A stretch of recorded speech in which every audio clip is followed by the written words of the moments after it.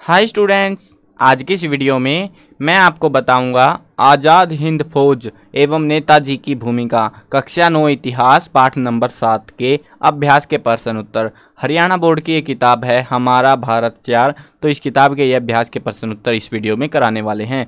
चलो शुरू करते हैं। मैं हूँ अजय और आप देख रहे हैं सी सी एल क्लास अब यहाँ पे एक काम की जानकारी दे देता हूँ आपको, जो है ना कंप्लीट बुक जिसके अंदर notes question answer important question MCQ ये सारी चीज़ों की वीडियोज़ आपको मिल जाएँगी और साथ में आपको रिटर्न में भी मिलेंगे हमारी official website C C L chapter dot com पर दोनों लिंक डिस्क्रिप्शन में है चेक कर लेना। अब शुरू करते हैं यहाँ पे। पहला जो क्वेश्चन आता है हमारे पास, वो है, फिर से जाने, फिर से क्या जाने? भाई, चलो बता दो जो बताना हो इनको। नेताजी पंडुबी के द्वारा यात्रा करके जर्मनी से एशिया पहुँचे थे। नेताजी ने अंडमान और निकोबार द्वीपों को शहीद व स्वराज नाम दिए थे। मतलब आपने चैप्टर में पढ़ा होगी, ये बात, ये काम की बात थी कि इन्होंने इन दोनों द्वीपों का नाम बदल दिया और ये नाम रख दिया था बाद में। नेताजी ने जर्मनी में हिटलर से भेंट की, हिटलर से मिले थे वहाँ पे। एक गुजराती महिला, बताई देवी ने तीन करोड़ की संपत्ति नेताजी को भेंट की थी और किसके लिए भेंट करी थी? ताकि वो अपनी सेना बना सके। नेताजी ग्यारह बार अपने जीवन काल में जेल गए थे। तो ये इंपॉर्टेंट है, ये भी आ सकता पूछ लेते कई बार कि कितनी बार जेल गए हैं। चलो, आगे देखते हैं अभी, आइए विचार करें। कौन से विचार करें छोटे से पर्सन है, चार पर्सन आई थिंक और जल्दी हो जाएँगे, कोई बड़ी वीडियो तो बनेगी नहीं इस पर चलो देखते हैं पहला पर्सन गांधी जी और नेताजी के विचारों में मुख्य भेद क्या था? गांधी जी और नेताजी के विचार आपस में बिल्कुल नहीं मिलते थे मतलब नहीं मिलते थे, कह सकते हो। गांधी जी साधन और साध्य दोनों की पवित्रता में गहरा विश्वास रखते थे, जबकि नेताजी साध्य के लिए किसी भी साधन को अपनाने के हक में थे। यानी कि तुम्हें जो मतलब अचीव करना है कुछ भी तो गांधी जी क्या मानते थे? धीरे धीरे जो है, अपने आप वो होता जाएगा। तुम्हें बस सच्चाई के रास्ते पे चलना है। लेकिन यहाँ पे नेताजी का मानना ऐसा नहीं था। वो कोई भी तरीका अपनाएँगे, लेकिन वहाँ टारगेट तक पहुँचना है तो वो उसके पक्ष में थे। इसके अलावा नेताजी के द्वारा महात्मा गांधी से पूछे गए स्वराज के सवालों का महात्मा गांधी नेताजी को स्पष्ट उत्तर नहीं दे पाए, जिसके कारण भी उनके अंदर वैचारिक भेद थे। तो मतलब ये जो है ना कुछ कारण बताए हैं यहाँ पे, एक ये वाला और एक ये वाला। तो इसी वजह से जो है विचारों के मुख्य भेद क्या थे ना, ये पूछे हमसे तो ये भेद था उनके अंदर। चलो, आगे बढ़ते हैं दूसरे पर्सन पे। आज़ाद हिंद फौज के गठन पर टिप्पणी लिखिए। अब ये पूरा हमें कहानी सी बतानी है कि आज़ाद हिंद फौज क्या थी, क्या करा, क्या सीन हुआ आज़ाद हिंद फौज में। तो गठन पर टिप्पणी ये, जो है ना इसके गठन पे कैसे बनी, क्या सीन है, सारा कुछ हमको बताना है मोटे मोटो सा। मतलब मोटी मोटी तो क्या ही बताऊँगा। आप, मैंने पूरा अच्छे से लिख दिया है, आपको आधा याद हो, आधा कर लेना। मतलब पेपर में आएगा ये, इसीलिए बता रहा हूँ, अच्छे से याद करना है आपको। इस चैप्टर के अभ्यास के प्रश्न उत्तर सारे याद करने हैं, एक तीसरे वाले को छोड़ के, क्योंकि वो तो रैंडम ऐसे ही है, चलो, देखेंगे, वो बता दूँगा मैं कैसा पर्सन है, कुछ नहीं है वो। चलो, देखते हैं। आज़ाद हिंद फौज के गठन पर एक टिप्पणी लिखिए फरवरी 1942 में, जब अंग्रेज़ी सेना ने सिंगापुर में जापानी सेना के सामने हथियार डाले तो नेताजी ने एशिया जाने की योजना बनानी शुरू कर दी तथा 90 दिन की पंडुब्बी की यात्रा करके वे दक्षिण पूर्व एशिया पहुँचे। रास बिहारी बोस काफ़ी समय से आत्मनिर्वासित जीवन व्यतीत कर रहे थे। उन्होंने इंडियन इंडिपेंडेंस लीग का गठन करके दक्षिण पूर्व एशिया में भारत की स्वतंत्रता के प्रयास किए। उनके अलावा बर्मा, थाईलैंड और संघाई में कर्म से प्रति, प्रीतम सिंह, बाबा अमर सिंह और बाबा उस्मान खान भी स्वतंत्रता की अलग जगाए हुए थे। अब यहाँ पे टोटली है ना, बात क्या हो रही है? यहाँ पे कई सारे अलग अलग बंदे थे अलग अलग क्षेत्रों से, जो कि अपने मतलब अपने देश के लिए जो है योगदान दे रहे थे, वो लोगों को जागरूक कर रहे थे, आज़ादी के लिए लड़ाई लड़ रहे थे। इन सब के प्रयत्नों और कैप्टन मोहन सिंह के सहयोग से आज़ाद हिंद फौज का गठन हुआ था। तो ये गठन समझ गए ना कैसे हुआ? अकेले जो है ना सुभाष चंद्र बोस ने नहीं करा, बहुत सारे लोगों ने मिलकर इस फौज का गठन करा था। हुआ, गठन हुआ, लेकिन शीघ्र ही मोहन सिंह व जापानी अधिकारियों में मतभेद होने से इसका विघटन होने लगा, यानी सेना कमज़ोर होने लगी, आज़ाद हिंद फौज कमज़ोर पड़ने लगी। नेताजी, आज़ाद हिंद फौज में तीन लाख सैनिक भर्ती करना चाहते थे इसके लिए, क्योंकि अब भाई फौज है, फौज तो समझते हो ना आर्मी को फौज कहते हैं। तो भाई वो जो लड़ाई थी, लड़ाई के लिए तो फौज तैयार कर रहे थे लोग, आज़ादी के लिए लड़ाई थी, हिंदुस्तान की आज़ादी के लिए। तो इन्होंने क्या करा, आज़ाद हिंद फौज में तीन लाख सैनिकों की भर्ती करवाना चाहते थे। उसके लिए उनको चाहिए था रोकड़ा, पैसा, धन और रंगून, ये जो है ना जगह है, रंगून जेल आपने सुना होगा बार बार तो ये रंगून जो है ना जगह है म्यांमार के अंदर बर्मा जिसको पहले बुलाते थे तो वहाँ पे है, अभी भारत का हिस्सा नहीं है ये। तो वहाँ के एक उद्योगपति, अब आप बोलो भाई वहाँ वाले लोगों ने क्यों दिया? क्योंकि उस समय वो ऐसे कनेक्टेड था पूरा, इंग्लैंड की वजह से।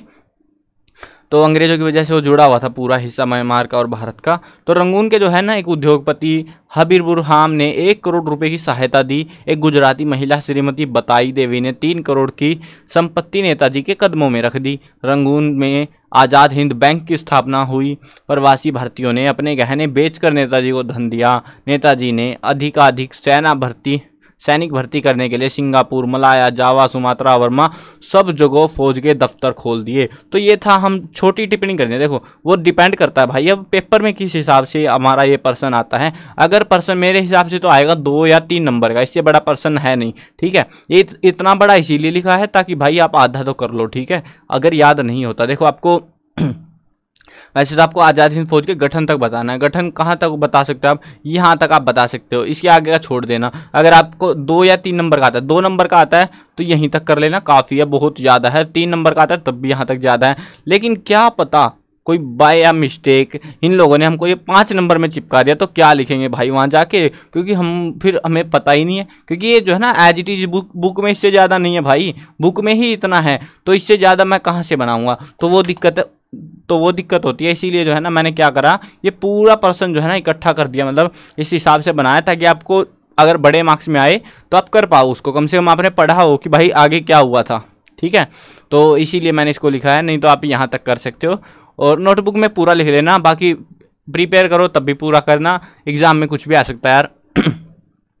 लेकिन जो है ना एक्चुअल में आएगा ज़रूर। इस चैप्टर से क्वेश्चन मेरे को लग रहा है बहुत मतलब खतरनाक। आज़ाद हिंद फौज को लेके ही क्वेश्चन आएगा। तो इसीलिए थोड़ा आपको बता रहा हूँ कि भाई ऐसे इस तरीके से हो सकता है। चलो अगला प्रश्न देखते हैं। क्या आप मानते हैं कि नेताजी की मृत्यु विमान दुर्घटना में हुई? यदि नहीं तो अपने तर्क रखिए। भाई, ये आपकी इच्छा है। आपको मानना है। मैंने अपने हिसाब, अपना तर्क दे दिया है। देखो, ये जो है ना काम का तो है नहीं पर्सन आपको भी समझ में आ गया, आप नाइन्थ में आ चुके हो ना पर्सन पेपर बहुत दिया आपने भी तो आपको भी समझ आ गया होगा, भाई ये ऐसे क्वेश्चन एग्ज़ाम में नहीं आते। देखो, यहाँ पे बताना क्या है, आपकी मर्ज़ी है, अगर आप सीधा सीधा क्या नेता, आप मानते हैं नेताजी की मृत्यु विमान दुर्घटना में हुई? यदि नहीं तो तर्क दीजिए, यदि नहीं कि दुर्घटना में नहीं हुई, हम मानते ही नहीं ये बात को, ठीक है? तो हम ये कह सकते हैं। लेकिन हमें कुछ लिखना पड़ेगा। हम कहते हैं हाँ हम मानते हैं। तो क्या ही बोलेगा? अगले वाले का मुँह ही बंद हो गया पर्सन का। तो वो बात है। अब मैंने नहीं करा है, ताकि आप अगर नहीं करते हो तो क्या लिखना पड़ेगा?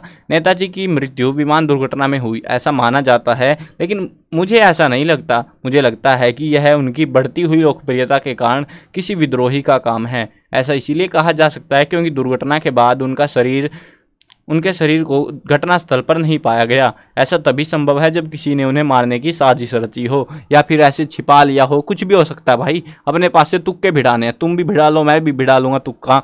चलो, अगले पर्सन पे आते हैं। मेन सही पर्सन पे। प्रश्न नंबर चार। भारतीय स्वतंत्रता आंदोलन में नेताजी सुभाष चंद्र बोस एवं आज़ाद हिंद फौज का योगदान था। का क्या योगदान था? तो देखो, दूसरा पर्सन और चौथा पर्सन मोस्ट इंपॉर्टेंट पर्सन है, दो ही पर्सन है, ये अच्छे से पढ़ लेना इस चैप्टर में और पर्सन भी नहीं बनते ढंग से। जो पर्सन बनते हैं, वो दूसरा और चौथा, यही है, ठीक है ना? एक आध पर्सन मैंने बनाया है इंपॉर्टेंट वाले में, अगर वो दे दिया कभी कभार बाय अ मिस्टेक तो आपके लिए थोड़ा रहे कि भाई हाँ हमें पता था ये चीज़ भी, हमने पढ़ी थी कम से कम। चलो देखते हैं यहाँ पे इस पर्सन को। देखो यहाँ पे ये लाइन मैंने एडिशनली ऐड करी है मज़े के लिए। भारत की आज़ादी के लिए, क्योंकि हमें यहाँ पे बताना है योगदान क्या क्या योगदान रहा? तो भारत की आज़ादी के लिए नेताजी सुभाष चंद्र बोस ने आज़ाद हिंद फौज को संगठित करते हुए आह्वान किया, तुम मुझे खून दो, मैं तुम्हें आज़ादी दूँगा। चलो आज़ाद हो जाओ, तुम बिल्कुल से अभी चलो। ये सीन है, अब यहाँ पे जो है ना, आज़ाद हिंद फौज का इन्होंने गठन करा और ये दोनों का योगदान जो है इकट्ठा ही था, क्योंकि सुभाष चंद्र बोस अकेले क्या करते भाई? आज़ाद हिंद फौज में शामिल थे और उसी ने करा सारा कुछ मतलब उसी फौज में उन्होंने ही करा। तो बेसिकली इनका जो जो योगदान है वही इस प्रकार से हम कह सकते हैं, युवकों को प्रेरणा दी इन्होंने, अहिंसात्मक नीति का विरोध करके आज़ाद हिंद फौज के माध्यम से राष्ट्रीय आंदोलन को जुझारू एवं संघर्षशील बनाया, संघर्ष एवं युद्ध करके राष्ट्रीय भावना को तीव्रतम सत्र पर पहुँचाया। सुभाष चंद्र बोस ने हिंदू, मुस्लिम, सिख सभी को सेना में समान रूप से भर्ती करके सांप्रदायिक एकता व सौहार्द उत्पन्न किया। प्रवासी भारतीयों में तन, मन, धन से फौज को सहयोग देकर देश की स्वतंत्रता में योगदान दिया। मुंबई नौसेना का 1946 का संघर्ष भी बोस की आज़ाद हिंद फौज से ली गई प्रेरणा का परिणाम था। अंग्रेज़ों को भारत छोड़ने के लिए मजबूर किया और ये पॉइंट, भाई, वहाँ क्या कर रहा है? ये नीचे आना चाहिए था। अगला पॉइंट है, ये नेक्स्ट पॉइंट है। देखो, डोट लगी हुई ना यहाँ पे, ये गड़बड़ हो गई कुछ।